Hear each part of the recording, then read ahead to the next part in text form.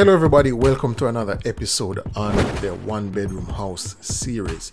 And today, what we're going to do is to continue where we left off on the drainage and electrical plan.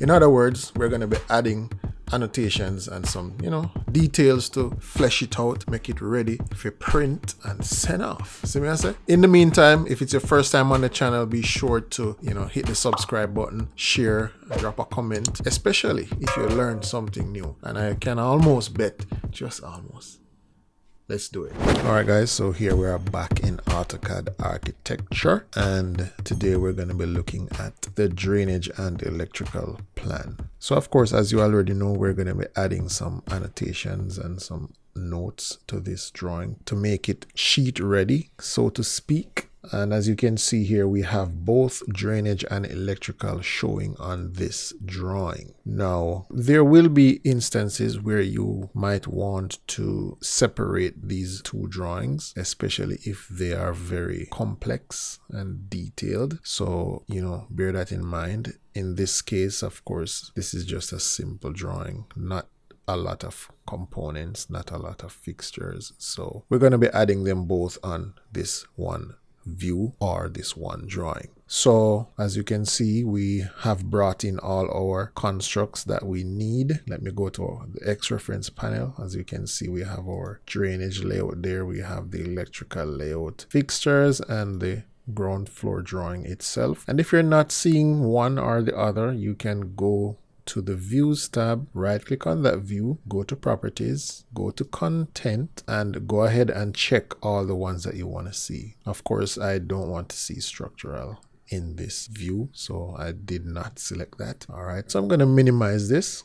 And of course, we're seeing some stuff that we don't want to be seeing in this view. So we're going to be freezing some layers. But before we do that, let's go ahead and tag our rooms because eventually we're going to need to freeze the space layer as well. But before we freeze it, we want to tag the rooms. So go ahead and tag your rooms, guys. You already know how to do this. So I'm going to just do one and then just like that a little bit of video magic tricks all of them is done so go ahead tag your rooms and from there we can go ahead and freeze the layers that we don't need. So of course I don't want to see the roof. I don't want to see space. I don't want to see these guys here. And I definitely don't want to see that I'm going to just keep the main things that I need, such as the fixtures, because we do need to know where the kitchen sink is. We do need to know where the toilet and the drains are. All right. I'm going to freeze this one as well. And then we keep everything else. And then from here, we can go ahead and kind of move these around so that they're not blocking anything that is important, such as the light or electrical fixtures there all right so make sure that you get that adjusted. I think i'm gonna move this down a little bit like probably about here. All right so from here what we're gonna do is to go ahead and add some annotations to our drainage system. All right so what we're going to do here is to go ahead and go to our text. And we're going to type m.h.1 dot. MH, as we all know, stands for manhole, and we give it a number, a unique number at the end there, so that we can identify which manhole this is referring to. All right, because of course we have multiple manholes, and so giving them a unique number or name will help to uh, identify them individually. All right, so what I did there was to just copy that one, give it a new number. I'm going to copy it again and I'm going to give it a new number. And if you notice how I am numbering them in a um, chronological order or in a sequential order, at the uh, closest end to the house, we start at one and then at the furthest end, we end with the larger number. All right. So you kind of want to keep your thing a little bit organized. You wouldn't want to put one up here and then two down here and then three there. You know, you kind of confuse the thing like that. So we're going to leave it at that. All right. So let's name the these the guys here. Of course, we already know what these are. Trap Gully Basin. So TGB. And we don't have to give these a number because, of course, this is just one here. If I had more than one, then I would give it a number. Uh, but in this case, they uh, we only have one. So, and this would be Grease Trap Basin. All right, good. So we have those labeled and that's that. Then we're going to go ahead and label our pipes. All right, so what we need to label on here would be the size and the material. Okay, so for this project, we're using PVC pipes and you want to make sure that you put the correct size on here. So we're going to use leader. So let's go to multi-leader here and we're going to click on this first one right here and drag it out. Now, if you notice, when you move it out, you get the arrow. If you put it too close, you're not going to get the arrow and you always want to have the arrow. So pull it out enough so that you can see the arrow and then click. And then we're going to go ahead and type um, 4 inch PVC. I actually want to put the millimeters here as well, which would be 100 millimeters. And what we want to also do is to put the diameter symbol here because this is a circular pipe. So we're going to put the diameter symbol, which would be, the shortcut would be percentage, percentage C, as in cat. So that's how we want to have that. And then guess what? We could just copy this and paste it on the other areas that we need it. So we need one here. We need one here. We're going to need one down here as well. And we're going to move the arrows so that they can um, point in the correct direction. So let's do that with these. I'm gonna do actually, you know what? Let me delete these. And I'm gonna copy this one and paste it here and here. And then for this one, I'm gonna point it in this direction, point it here as well. I need another arrow from this to point to this pipe right here. So what I'm going to do is to highlight that, go to the leader drop down and say add leader. All right. So once we click on that, we now have the ability to add another leader. And if we want, we could actually add another one and another one, and another one, another one, another one, another one, another one, another one, another one, another one. But okay, I can't undo. All right, let's remove them. Remove remove remove. Uh, I don't need that one I don't need that one I don't need that. All right so that's that. Um yeah looks good so far. I think we have another four inch out here. We're gonna make this one. This is the stormwater pipe. We're gonna make that four inch as well. But guess what? We also have some two inch ones. And these are some smaller PVC pipes that are running from the lavatory to the bathroom drain here floor drain so this would be 2 inches and of course if 4 equal 100 then 2 would equal to what? Almost man 50. That's how I know you're some brilliant dudes and girls. Alright, so that's gonna be that and then I'm gonna copy this again and put it in the kitchen because we have another 2 inch pipe inside of here so as you can see, we're just going around and labeling each pipe, making sure that they have the correct information on them. All right. I also want to label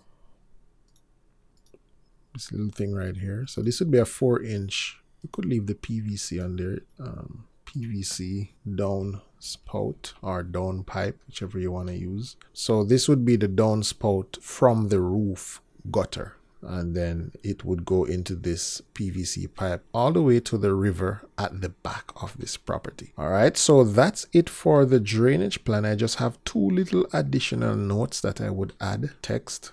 I'm just add it right here. I'm gonna storm water line to river at back of property. All right, so I would put this here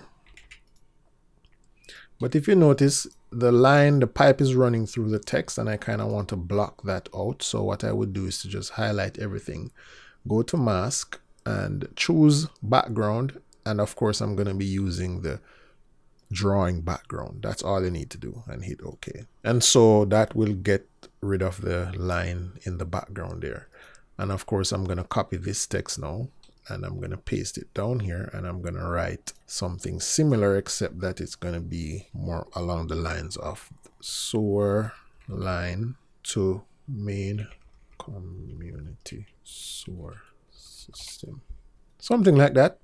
Yeah, of course, you might be able to word it a little better than that, but essentially what we're going to do when we create our view is to cut off we're going to cut the drawing about here because we don't want to see this part of the drainage system and we don't want to see that little back part. That can stay. Those areas will be seen on the site plan all right? So you don't have to worry about that all right? So that would be it for the drainage plan. Now we would go over to the electrical plan. And guys we are like 95 percent done already um, because there's nothing really to be done with the electrical plan all we need really is a legend to show all the symbols and what they represent. And if you remembered when we were doing the electrical plan, we had already done our legend. All right so i'm going to go ahead and i'm going to open that legend up. So this is the legend that i have created from the time we had done the electrical plan all right. Now i have this legend available on my patreon page guys. So if you need to download it definitely go over there. The AutoCAD file is there but i also have the pdf file linked in the description below if you need uh, something to reference for your project. All right, now the good thing about having your legends in, in, a, in a separate drawing is that we can link this drawing to all of our projects. All right, so what we're going to do here is to make this drawing a part of our current project and how we're going to do that is we're going to go to our construct and we're going to make it an element all right so we're going to just right click and we're going to say save current drawing as an element. So we go ahead and I'm going to rename this to say electrical and drainage legend. Okay. And if you notice, I renamed it because I want to add a couple other stuff inside of here. What I'm going to do is to probably just copy one of these. By the way, guys, this legend I made from scratch. So this is something you will have to spend time and do. There are some tools out there that we can use to create legends, but I do not have access to those. So um, you'll have to go ahead and figure that out. Definitely go ahead and do the same. So I'm going to rename this to be drainage legend.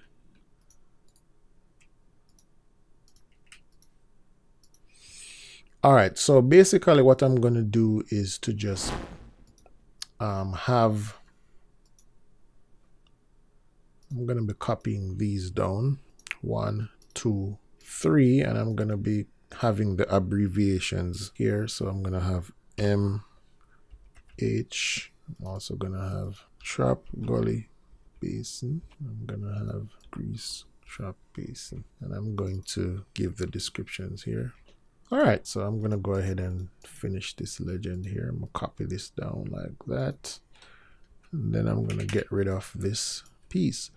All right, so here I have created a little legend for the drainage system with all the different abbreviations and what they mean. All right, so I'm going to go ahead and save. Now remember that this is now the drawing that is unique to our current project. So we're going to go back over to our drainage electrical and now we're going to XREF overlay this into this project. So we're going to go XREF overlay. And if you look closely, we can see that um, our legends are currently at the bottom here. And these are very small because I did draw these at a one in one scale. So you have to be mindful of where these are located because when you XREF them into your project, if you had them out here, they will appear out here. All right. I had mine in the corner here and I also drew them at a one in one scale, which is what they are right here. When we put them on the sheet, they're going to come out at the perfect size. So don't worry about the size. Just be mindful of what the scale is. All right. At this point, I'm going to go ahead and create some additional notes that we could add to this drawing. All right. So I'm going to put them probably over here. So go click on the A. I'm going to draw a box and I'm going to just copy some notes that I have and I'm going to just paste them in. All right. So these are my notes for my electrical and drainage. I'm gonna give them some numbers as well. And of course, these notes would vary depending on the project. I just literally just copied these from another project and just paste them in here. So um, bear that in mind. All right, so this would be the notes I have for my electrical and drainage. All right, so these are done at a scale of quarter inch. You have to bear your scales in mind. If you forgot what scale it was at, you could actually go over to your uh, properties here and look and where you see annotative scale, it is saying this object was done at a quarter inch scale. Guys, this is important. All right. So now I have my electrical notes. I have my plumbing notes. I have my legends and I have um, everything. Everything is done. All i need to do is to go ahead and create some views. So we're going to go over to our views tab here and we're going to go to new. First one we're going to create is our drainage and electrical layout plan. I'm going to hit define window and we're going to define our window to be about from here all the way down to about here. Make sure that you're capturing all that you need. I'm going to hit that. I'm going to hit enter and everything else looks good. Going to hit OK. So that's done. We're going to create a view again. We're using the same scale here. And we're going to call this, um, could call it notes, define window. Going to be this. Enter. Okay, and then we're going to do our legend, which we're going to zoom in. But remember now that this is at a one in one scale. So we do have to change our scale down here to one in one before we create our view. So new view, and we're going to do both legends separate. So we're going to say legend electrical define window. This would be our electrical legend. Enter okay then we're going to do our drainage separate. Define window and then we define our drainage legend. Enter okay. So now when we go to our view manager we can see that we have all of our views here and if you click on each you can see the preview down there. And that's very important because when we go to our view we can also see that we have them listed over here as well. All right. And these are what we're going to be placing on our sheets. So let me change back to the quarter inch scale. One last thing to top that off is to add our title to this drawing. So we're going to go ahead and go to title click on that and of course we're going to just draw our title down here just like that. All right so let's move this up a little bit. Yeah something like that. Or we could actually move the title down a little bit as well. Good course it has the wrong scale on it. I don't know why but i'm not even going to worry about that. Sometimes AutoCAD have those glitches but we're gonna leave that there. All right so that's where we're gonna end this video for today. We're gonna hit the save button and so we have everything that we need for our drainage and electrical plants. All right guys? All right so that is it for this video today. I hope that you learned something and you know what to do already. Like and hit the subscribe button. And don't forget to share the video with your colleagues and your friends and your enemies too yeah. Anyways i want to say shout out to my patrons on my patreon page. The link is in the description below. Definitely check out my patreon page. And also check out my instagram page as well. And uh, yeah until then see you guys in the next video. Boom, bye.